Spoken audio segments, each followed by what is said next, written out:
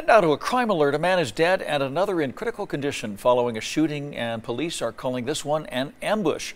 It happened around 1230 yesterday near Industrial Road. Officers believe it was a targeted attack. It appears like it was outside on the street outside of uh, one of the apartment complexes. Uh, looks like we had a couple males that were standing outside when they were ambushed and shot at. Police say both of the victims are 32 years old. If you have any information about the case, police need your help.